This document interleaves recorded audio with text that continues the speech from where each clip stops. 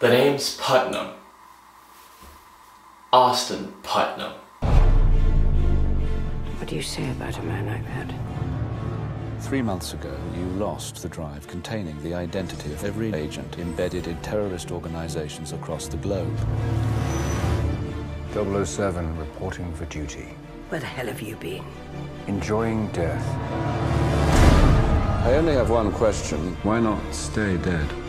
There's no shame in saying you've lost a step.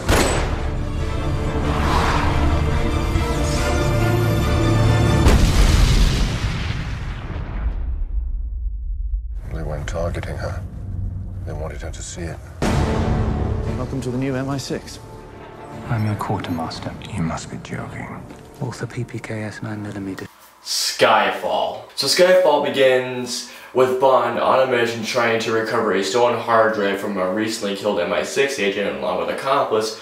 However, the mission goes awry as Bond is accidentally shot in the shoulder. So presumed to be killed, Bond is missing in action, and things for the MI6 haven't go so well with the most recent thing being a cyber terrorist attack on the MI6 building resulted in getting it blown up. Unexpectedly, Bond returns to accept the mission of trying to find the cyber terrorist who turns out to be Raul Silva. So as Bond is on this mission, he starts to question his loyalty to M and starts to question M herself. So you guys know, I am a huge, huge Bond fan, and as you guys know, the last video I uploaded was my top 5 favorite Bond films. I have been really looking forward to Skyfall. Okay, so first of all, I have to get this on my chest.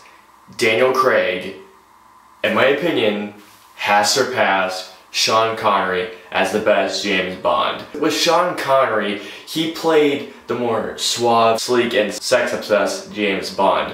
While Daniel Craig not only plays the cold, raw, and savage James Bond so excellently, he can also pull off that Bond look where he goes like, Martini, shaken, not stirred. And he pulls it off very, very well. The plot of the film is very, very well done. Honestly, I don't want to go into it any further, but let me just say this. There are lots of unexpected twists and turns in this film that I will not expect, I can assure you that. Javier Bardem as Silva, my god.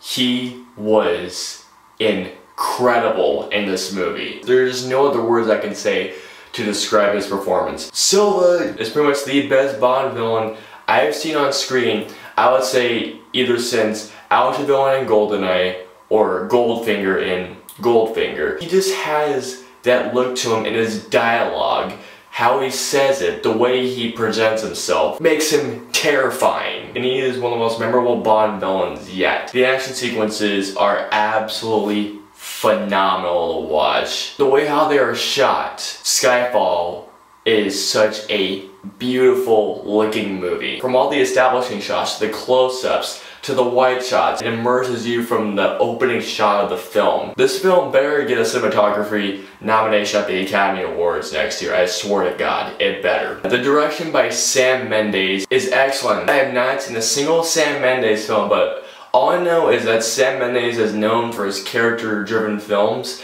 and he applies that end to Skyfall. When the film isn't in an action sequence, the character-driven performances alone will suck you into the movie, especially when you see Bond and Silva just talking to each other, because it looks like two juggernauts just facing off each other. The intro sequence by Adele was perfect. I know I'm probably gonna lie if heat from saying that, but I'm not even kidding. Adele's theme song for Skyfall was perfect. It gave me the chills watching it. And there were some images in the intro sequence that literally were haunting for me to even look at. Skyfall still shows Bond as the darker and savage person that we saw in Casino Royale, but it also shows Bond as what we used to love as well in the classic James Bond films like Doctor No, Goldfinger, all those great Bond films out there. It has some truly great homages. The score as well is excellent. Those two and a half hours just went by just like that. Overall, Skyfall is one of the best Bond films out there. Daniel Craig surpasses Sean Connery as the best Bond. Javier Bardem is one of the best Bond villains ever. The action sequences are amazing. Sam Mendes does a terrific job of directing. It's shot beautifully it is definitely one of my favorite films of the year. I'm gonna give Skyfall a 5 out of 5 stars. So comment down let me know below of who you would think would be a great choice to direct the next Bond film besides Christopher Nolan. And I will see you guys next time. Seriously, do it. Do it. Do it.